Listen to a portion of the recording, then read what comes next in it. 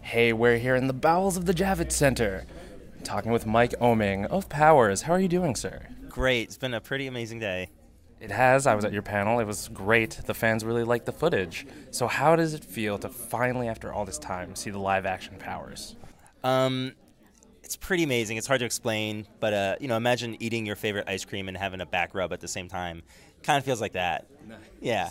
now, you guys are shooting right now. Um, how surreal is it for you to see this all come to life? Like your work uh, from the page translate to real life? Sure. The, the truly surreal thing is that it has a life of its own already. It's very much Powers, carrying the spirit of Powers, um, but it also is running parallel in its own development. Um, and that's been amazing to watch because now I'm taking cues from the show as well and bringing it back into the comic. You know, so we got a, a nice synergy thing going back and forth. Cool. Speaking of the comic, uh, you guys announced a new number one. Will that be a reboot or a reprint or a continuation of the story you've been telling? It's just a continuation. You know, a lot of times now uh, it's become more common that, that story arcs just start with another number one, so that it shows people where you can jump on board. Um, it's it is going to be a little tough for some powers new powers fans if they don't know this is where you can start. You know, because if you start in the middle of you know, um, forever, it could be a very strange start for you. So we're trying to say to people, here, come get this book because this is where you can start. You also mentioned in the panel that there is a lot of comic synergy with the show mm-hmm. and you know your work, uh, and you'll you'll be including artists like Mike Allred uh, and yourself. Uh, mm-hmm. Who are some of the other artists that will be heavily featured in the show, and what in what capacity will we be seeing them? So we have kind of have these, these these different tiers of what the art is. So we have art that one of the main characters is drawing and I'm doing a lot of that. There's pop culture stuff, which I'm doing some of the art for, for that as well. Um, but that's also where um, some of the other artists coming in, like David Mack and David Marquez and Mike Allred. Um, within the Powers universe, in the show, there's a Powers comic book. So um, we're having other artists do the Powers comic book. Mm-hmm. Um, I'm doing some of the other stuff. There's a, a, a um, sort of an animation cel look because there's like a cartoon of Retro Girl because this is a, a, fully developed world. So I'm doing the artwork for that. So we, have actually got the artwork kind of categorized and how it's being used. So it's, it's not just randomly thrown out there. You know, like we have Allred doing the Silver Age comic for a reason. He's Mike Allred. He's going to do the Silver Age stuff. Uh, and David Marquez is doing a very modern thing, and David Mack is doing these amazing, beautiful um, gesture paintings of Retro Girl that are like these high-end art pieces that that are featured in the show. Cool.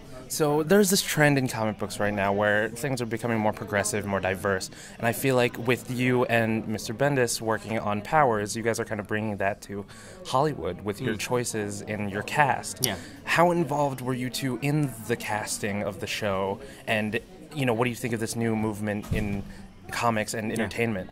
Yeah. Um, well, uh, we we got to approve all of the actors and such, and look over all of the the footage. Mm. Um, it was amazing when we saw Susan um, Susan's audition. Within ten seconds, I was like, "That's that's Deena," because it was all about the actor in the part. You know, because you can't get somebody who looks like Walker. That doesn't exist. Uh, at least not who can act and stuff. You know, so we were always about finding the right actor for the right part, not carbon copies of the characters walking around, because that's putting the horse before the carriage, and it can quickly go off rails because you're looking for somebody of the right size or something. Mm-hmm.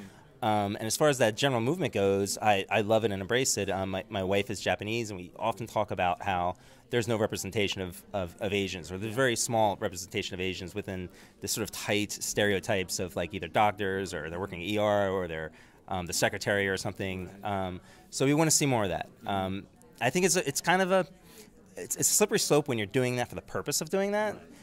But I think most people are just being smart and they're just looking for the right actors and no longer kind of putting boundaries on who you can or can't cast. Right. I think that's all it is. And I want to see more of it. As do I. Yeah. so finally, my last question: If you were in the world of powers, in fact, if you and Mr. Bendis were a superpowered team, ah. what do you think your powers would be? Um, Brian's would be to change the world because he likes to have his own sort of sense of time and um, communication skills. Mm-hmm. So I think his powers would be kind of like, that's not what happened, this is what happened.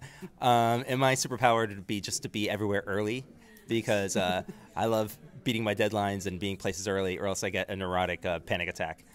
That's awesome. Well, Mike, thank you so much. We look forward to the show. thank you so much, guys.